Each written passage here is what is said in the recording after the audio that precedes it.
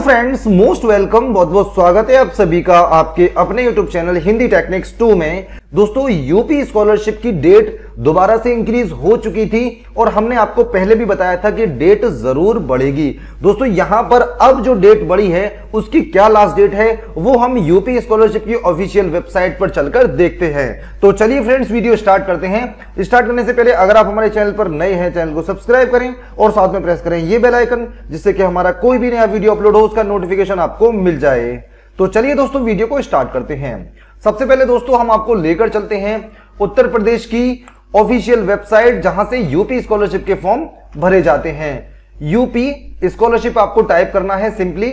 जैसे ही आप UP scholarship type करेंगे तो यहाँ पर पहली वेबसाइट होगी scholarship dot UP dot gov dot in ये वेबसाइट है जहाँ से यूपी स्कॉलरशिप के फॉर्म भरे जाते हैं। यहाँ पर देखिए, जो पोस्ट मैट्रिक हैं, दोबारा से रजिस्ट्रेशन शुरू हो चुके हैं और यहाँ पर जो न्यू नोटिफिकेशन है, दशमोत्तर कक्षाओं के लिए छात्रों द्वारा ऑनलाइन आवेदन करने की अंतिम तिथि 10 दिसंबर, यानी तीन दिन अभी बाकी हैं। सिर्फ़ दशमोत्तर क्लासेस यानी इलेवेंथ ट्वेल्थ और अदर देन इंटरमीडिएट यानी जो हायर क्लासेस हैं, उन सभी के लिए डेट इंक्रीज हो चुकी थी और अब 10 दिसंबर तक उनके पास टाइम है, वो अपने फॉर्म को कंप्लीट कर लें। दोस्तों, इसके अलावा यूपी स्कॉलरशिप को लेकर कोई और सवाल आपके मन में हो कमेंट बॉक्स में आकर हमसे पूछ सकते हैं।